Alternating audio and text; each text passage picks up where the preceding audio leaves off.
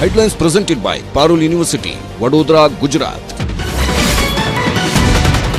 ಎರಡ್ ಸಾವಿರದ ಹದಿನೇಳರಲ್ಲಿ ನಡೆದಿದ್ದ ಶೂಟೌಟ್ ಕೇಸ್ನಲ್ಲಿ ತೀರ್ಪು ಅಕ್ರಮ ಸಂಬಂಧ ಶಂಕೆಯಲ್ಲಿ ವಕೀಲನ ಹತ್ಯೆ. ಅಪರಾಧಿ ರಾಜೇಶ್ಗೆ ಜೀವಾವಧಿ ಶಿಕ್ಷೆ ಕೊಟ್ಟ ಕೋರ್ಟ್.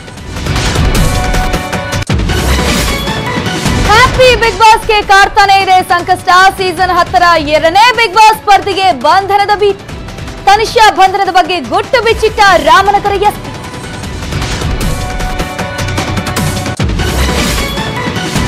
ಬೆಂಗಳೂರಿನಲ್ಲಿ ಸಿಕ್ಕಿತ್ತು ಅಮೆರಿಕನ್ ಡಾಲರ್. ಕಂತೆ ಕಂತೆ ಹಣ ಸಿಕ್ತಿದ್ದಂತೆ ಕಿಡ್ನಾಪ್ ಮಾಡಲು ಪ್ಲಾನ್.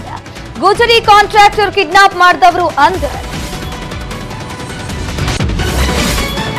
ಮಧ್ಯರಾತ್ರಿ ಬಾರ್ ಶಟರ್ ಮುರಿದು ಕಳ್ಳರ ಕೈಚಳಕ ಮೂರೇ ನಿಮಿಷದಲ್ಲಿ ಆರೂವರೆ ಲಕ್ಷ ಹಣ ಎಸ್ಕೇಪ್. ಹೆಬ್ಬಗೋಡಿ ಪೊಲೀಸರಿಂದ ಮಂಕಿ ಕ್ಯಾಪ್ ಕಳ್ಳರಿಗೆ ಶೋಧ. ಇಂದಿರಾ ಕ್ಯಾಂಟೀನ್ ಬಳಿಕ Indira clinic, news eighteen reality ಚೆಕ್ನಲ್ಲಿ ಅವ್ಯವಸ್ಥೆ ಅನಾವರಣ. ಸರ್ಕಾರ ಎಚ್ಚೆತ್ತುಕೊಂಡ್ರೆ ಅನಾರೋಗ್ಯಕ್ಕೆ ಚಿಕಿತ್ಸೆ.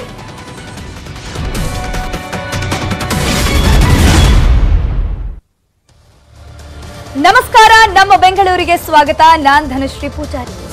ಎರಡು ಸಾವಿರದ ಹದಿನೇಳರ ಜನವರಿ ಹದಿಮೂರರಂದು ಇಡೀ ಬೆಂಗಳೂರೇ ಬೆಚ್ಚಿ ಬಿದ್ದಿತ್ತು. ಕಾರಿನೊಳಗೆ ಕುಳಿತು ಮಾತನಾಡ್ತಿದ್ದ ವಕೀಲನನ್ನ ಗೂಂಡಿಟ್ಟು ಕೊಲ್ಲಲಾಗಿತ್ತು. ಪತ್ನಿ ಜೊತೆ ಅಕ್ರಮ ಸಂಬಂಧದ ಶಂಕೆಯಲ್ಲಿ ಕೊಲೆ ಮಾಡಿದ್ದ ಕೇಸ್ನಲ್ಲಿ ತೀರ್ಪು ಹೊರಬಿದ್ದಿದೆ. ಏನಾಯ್ತು ನೋಡಿ.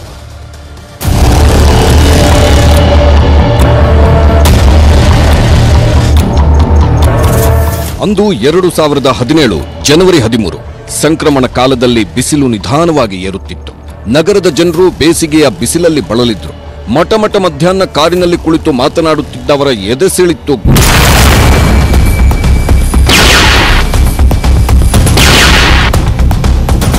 ಹೆಸರುಘಟ್ಟ ಸಮೀಪ ಆಚಾರ್ಯ ಕಾಲೇಜು ಬಳಿ ವಕೀಲ ಅಮಿತ್ ಕೊಂದ ಅಪರಾಧಕ್ಕೆ ಜೀವಾವಧಿ ಶಿಕ್ಷೆ ಆಗಿದೆ ಪಿಸ್ತೂಲ್ನಿಂದ ಗುಂಡು ಹಾರಿಸಿ ಹತ್ಯೆ ಮಾಡಿದ್ದ ಅಪರಾಧಿ ರಾಜೇಶ್ಗೆ ಬೆಂಗಳೂರು ಗ್ರಾಮಾಂತರ ಜಿಲ್ಲೆ ಒಂದನೇ ಹೆಚ್ಚುವರಿ ಜಿಲ್ಲಾ ಮತ್ತು ಸತ್ರ ನ್ಯಾಯಾಲಯ ಜೀವಾವಧಿ ಶಿಕ್ಷೆ ನೀಡಿ ಆದೇಶ ಮಾಡಿದೆ.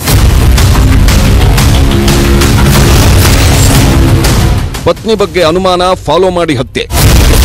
ಕಾರಿಗೆ ಜಿಪಿಎಸ್ ಹಾಕಿ ಹಿಂಬಾಲಿಸಿದ್ದ ಅಪರಾಧಿ.